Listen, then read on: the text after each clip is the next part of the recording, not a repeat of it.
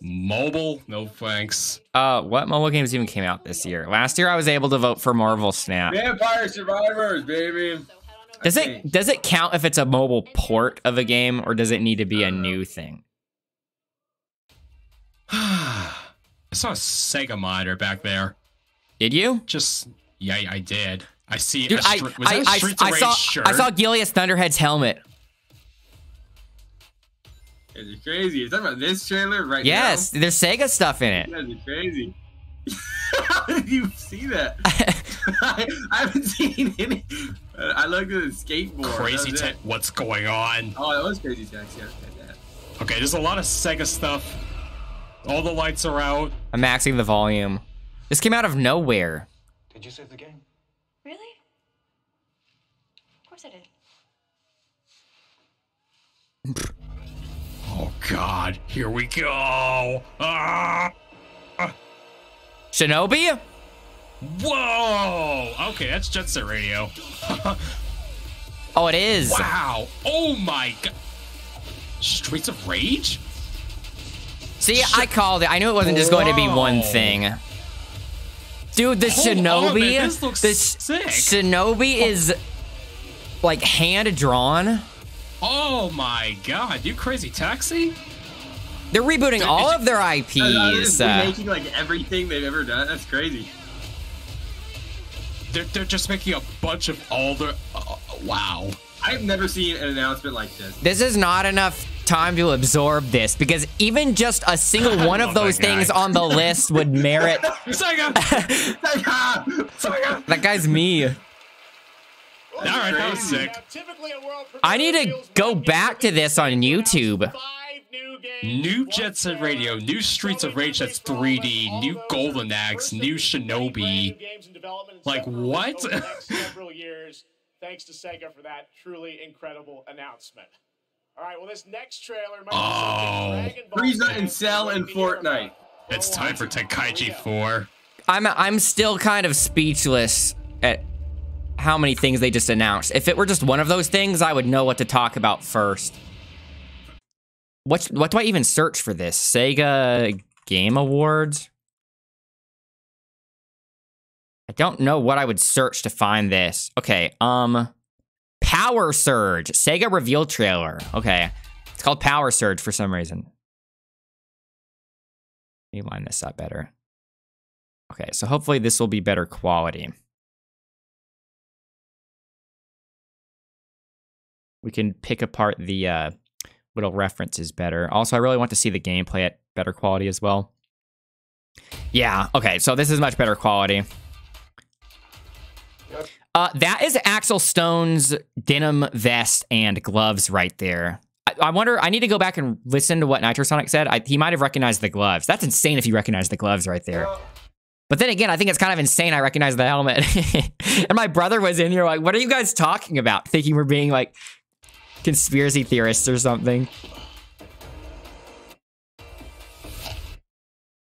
I think that's a Streets of Rage shirt right there. Yeah. I actually have a Streets of Rage shirt. I would have worn my Shinobi shirt if I knew this was going to happen. I wore my Sonic shirt because I just wanted to wear something Sega because I was expecting Virtua Fighter 6. Uh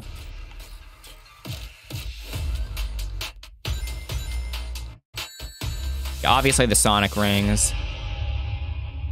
And you know what's funny about the Shinobi arcade cabinet back here? There's the Crazy Taxi license plate. I need to get the Crazy Taxi license plate like that and put it next to my Blade Runner license plate. Okay, look at this. I might be reading too far into it, but I think this is actually not only just an excuse to put Shinobi in the trailer, but I think it's actually a reference to the commercial for the PS2 Shinobi reboot. Did you save the game? Really? Of course I did.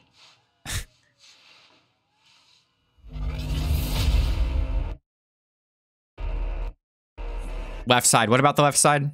There is a DC logo on the skateboard? For real? Okay, I can go back and look. Okay, but you see the Shinobi arcade being the portal that segues them into this here? I don't know if you guys have seen it, but there's a commercial for the PS2 Shinobi reboot, just titled Shinobi. And in that commercial, it is somebody playing a Shinobi arcade game because it was a reboot, right? So they were wanting to they were wanting to kind of imply that ah, what's new is old again. Shinobi's making a comeback, even though now it's old. Uh, so somebody was playing a Shinobi arcade game, one of the old Shinobi games, and while he was playing it, these ninjas were fighting behind him, and he didn't realize it, and he didn't recognize that something was going on behind him until a shuriken got thrown and got stuck in the arcade. And so then he saw the shuriken and pulled it out and looked behind himself. And it, I think he said Shinobi's back or something because, like I said, it was supposed to be a comeback for Shinobi. So I think that's why they might have done a Shinobi arcade cabinet specifically instead of any of the other games being the arcade cabinet. Uh, left side of the board of the skateboard is it in the first shot when he brings it in? Yo, yo.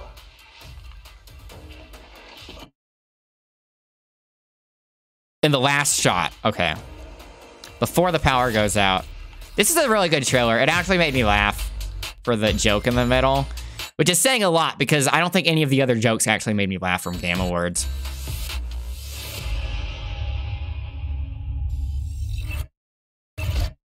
Was it that shot? How are you able to see it from here? There's no way. It has to be a different shot. Oh. You're right. Good catch. Also, I think these are sprays and stuff from uh, Jet Set Radio, right?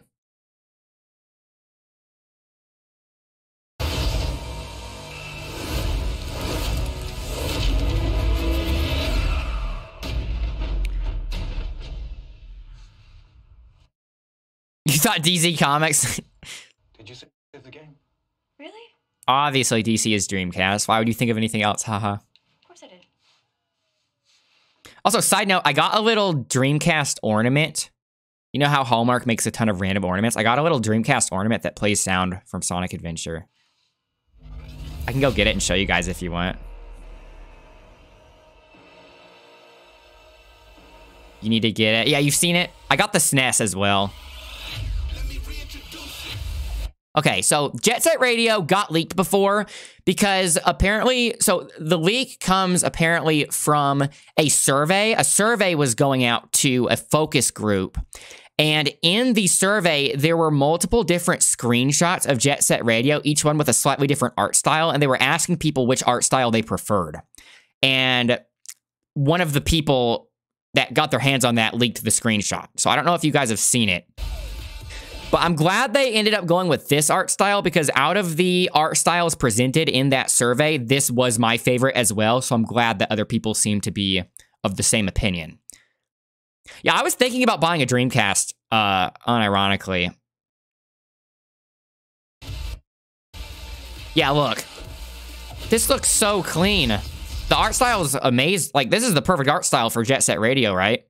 And if you told me that Sega was going to make a whole bunch of reboots of their old games all at the same time, I would assume that they would all be kind of like low budget double A games with the same art style across the board.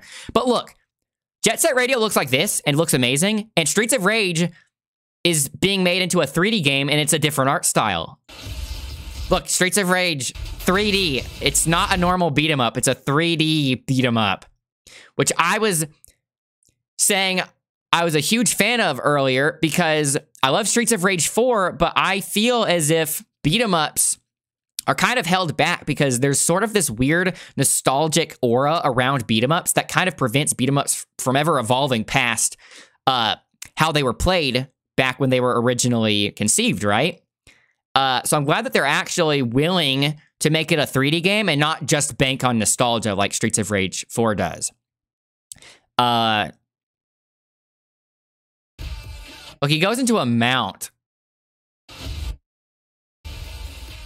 And look, this this is the part that made me speechless. Shinobi and it's hand drawn. Look how well Shinobi is.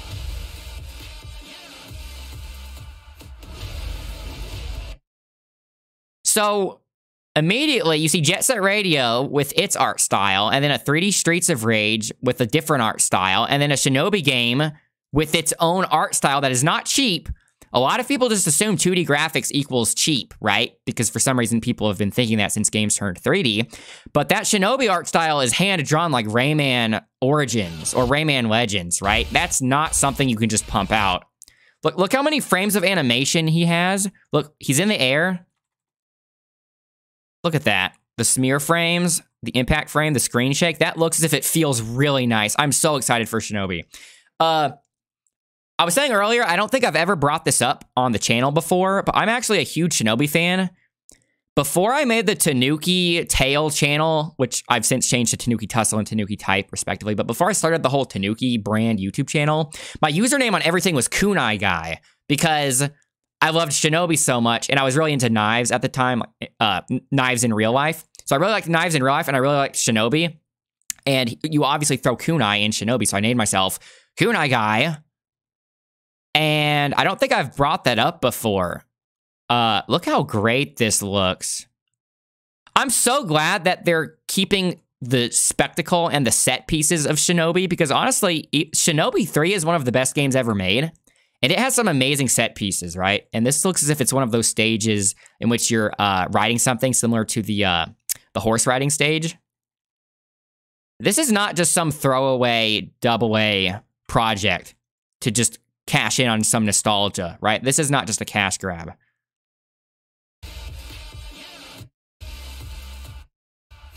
So I think I'm going to uh, go pretty ham on speedrunning this game. I think this will be a really awesome speedrun game. And then, just like how Streets of Rage got a 3D treatment, Golden Axe. Look at this. A 3D Golden Axe. I don't even know what character this is. Oh, I didn't recognize the guy with the sword behind her last time. So we have uh, Gilius Thunderhead being presented mostly here. Uh, which I think is good because I always thought it was so weird that Gilius was kind of not the main character in a game called Golden Axe when he's the axe character. Because uh, the sword guy would usually get put in the center of the box art most of the time, right? The sword guy. Uh, I don't know who this is though. Does anybody know which girl this is? She's holding a glaive with a blade on each end. It's not Tyris Flare or whatever her name is. But the axe has to be golden. Um, well, it got half of it right, at least. If you get a guy with a sword, none of it's right. Maybe it's more about uh, it being golden as a metaphor. It's a golden aura. it looks as if this is probably a cutscene, right? But maybe there's a dodge roll of some kind. Look at the mount. That looks awesome.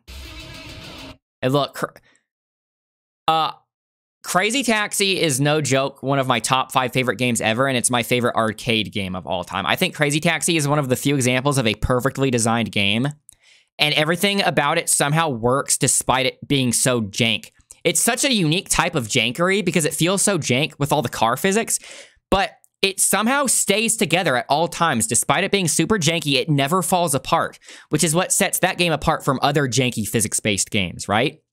And the more you play the game, the more you can appreciate the actual level design behind uh, where they placed everything in the city and where they placed different customers.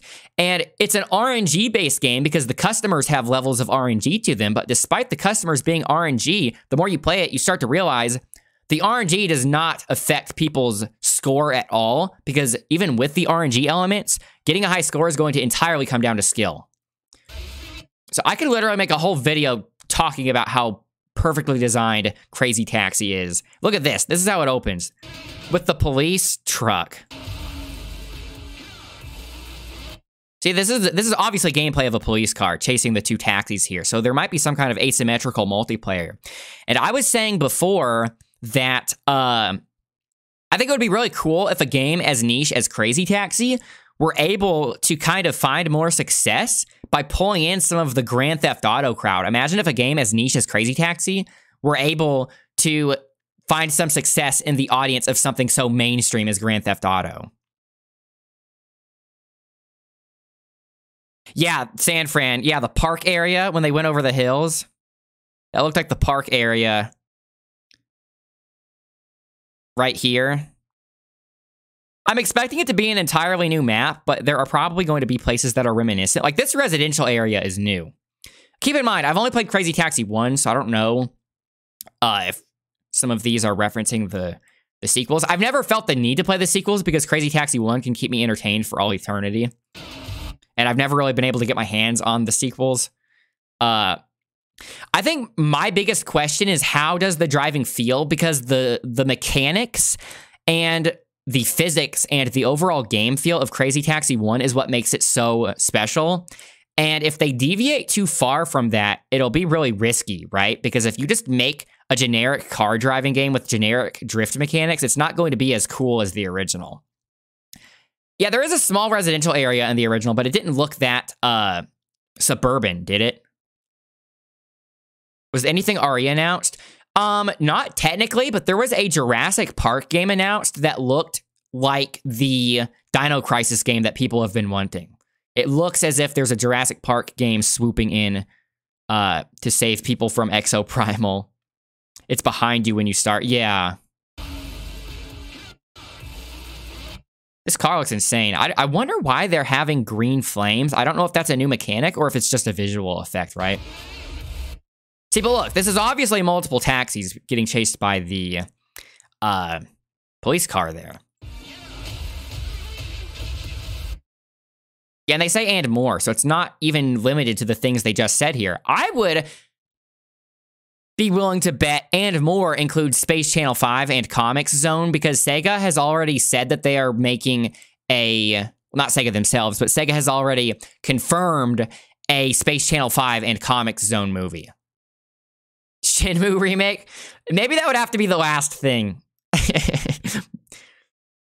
All of these would have to lead into Shenmue. I don't need a Shenmue remake. Just let the guy make his 14 Shenmue games so we can finish the story. Don't do anything to slow down the ending. See, look, there's Axel in his uh, original car there.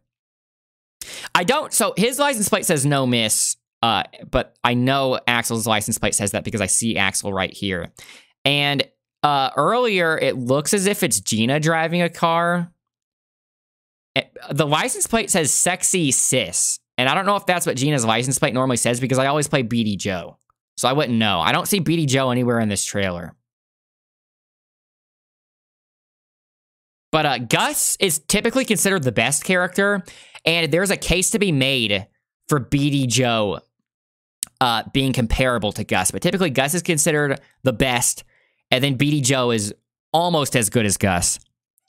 Uh, which is one of the reasons I play him because I think it's kind of cool playing not the best character, but a character that can sort of have a case for being the best, but also uh, BD Joe's car is the fastest, which that doesn't matter much because there's a limit break that you can make it where there's no cap to your speed in the game.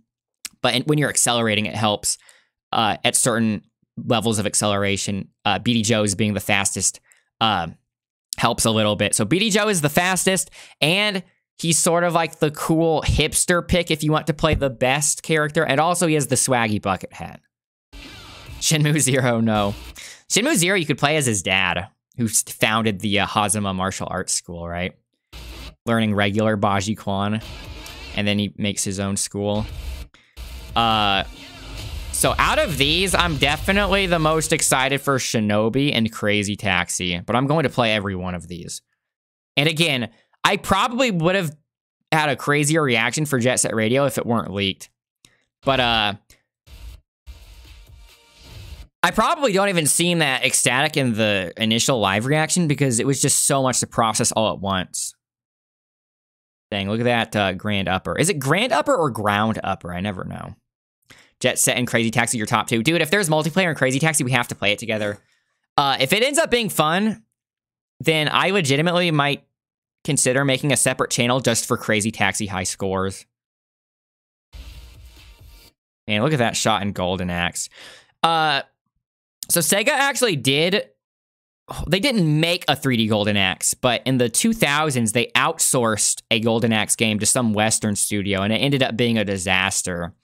Uh, I think Matt McMuscles might have a video, uh, sort of a documentary, uh, talking about it if you guys kind of want to see what I'm referring to. Uh, so after that, I just thought Sega never wanted to touch Golden Axe again because, you know, Japanese companies are kind of weirdly superstitious sometimes. They have one bad game and they assume that there's a stink on the whole IP and they can never return to it again. Uh, and I thought if they were going to return to Golden Axe, it would be more similar to Streets of Rage 4, a much more traditional beat 'em up. But the fact that they are willing to go all in and make it just a 3D game with a with a cool art style, it's kind of chunky. It's sort of semi-realistic, but the proportions are kind of chunky as if it's a comic book, you know, like Conan. I think this is literally the best case scenario for what they could have done with Golden Axe. Hey, look, Gilius is holding a sword here, so he's not just limited to the axe. Uh, so maybe you could pick up the axe regardless of who you're playing. Maybe that was Tyris Flare earlier then, and Tyris Flare just picked up the uh, pole arm. Uh, apparently, the PS5 Pro is coming out next year. So if a PS5 Pro does come out, then I'm going to get it because that's why I've been waiting this long on a PS5. That's why I just bought a Series S to hold me over, so I could at least play next gen exclusive uh, demos and stuff because the Series S is saving me so much time when I play Street Fighter because the loading times for Street Fighter 6 on PS4 are so long. Look at that.